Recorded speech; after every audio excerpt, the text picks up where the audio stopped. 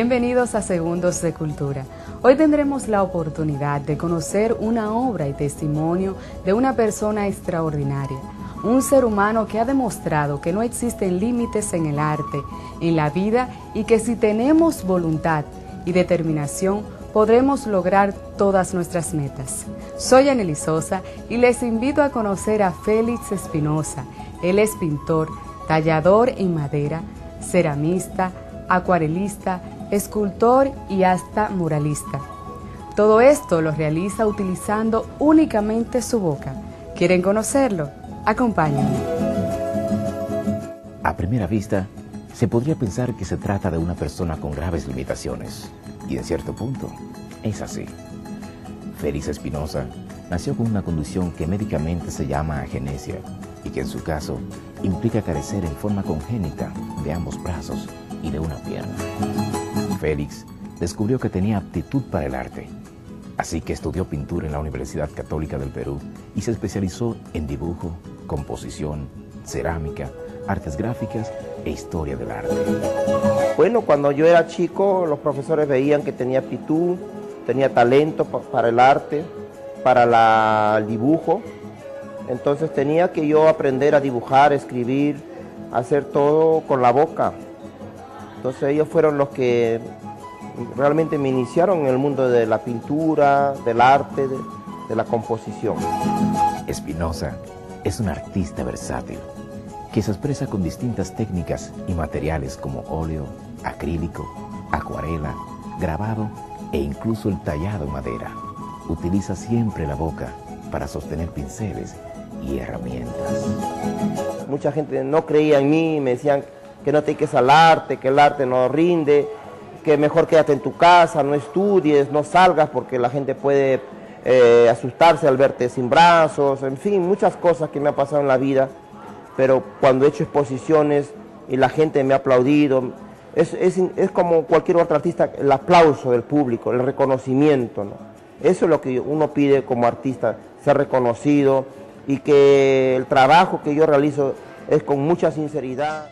Reconocido a nivel internacional, lleva más de 150 exposiciones en el mundo. Ha sido merecedor de 20 premios internacionales y afirma que compite con cualquier artista, por lo que siempre exige que se valoren sus obras, no por su condición, sino por su talento. Donde esté mi obra, valoren primero eh, la composición, el color, el mensaje, y después puedo decir, tiene mucho más mérito que lo hecho una persona con la boca o con el pie. No se cansa de estudiar y por eso se ha especializado en varios países del mundo, pues entiende que las personas deben formarse constantemente para reforzar y actualizar los conocimientos.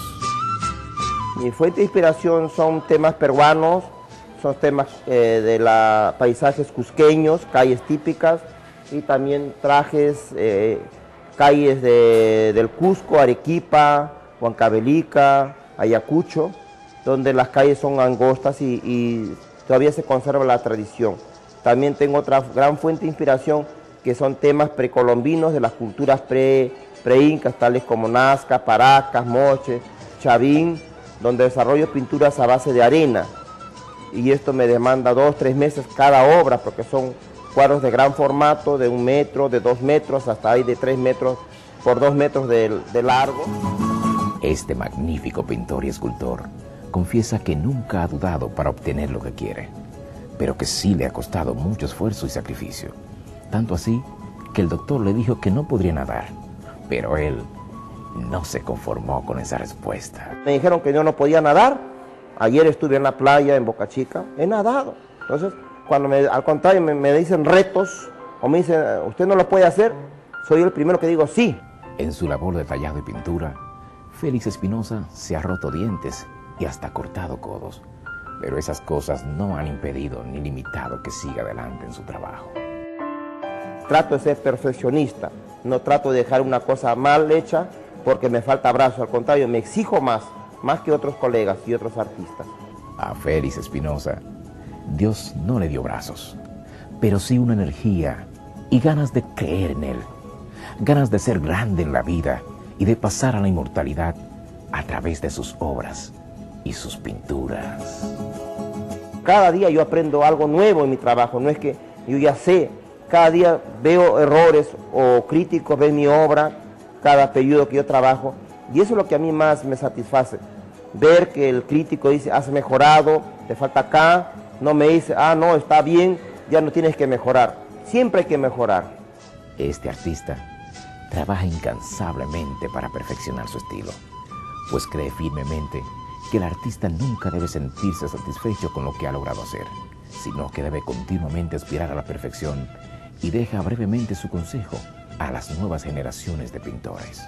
Por ejemplo, un famoso pintor, eh, Van Gogh, que nunca vendió un cuadro, pero fue una persona que creyó en su pintura y ahora pues sus obras valen 40, 50 millones de dólares. Yo sí vendo, no, no me quejo que no vendo, pero ser auténtico, no copiarse de otros que está de moda. Hay mucha imaginación. Yo también puedo desarrollar, sin pintar, mucha imaginación, hacer cuadros, como se dice, agarrar objetos, collage, eh, inventar o pintar una pared rosada o toda una calle de negro, digamos, por ejemplo, algo que nunca se ha visto. Está bien, pero eso pasa un tiempo. Estas obras van a quedar por siglos, se presupone.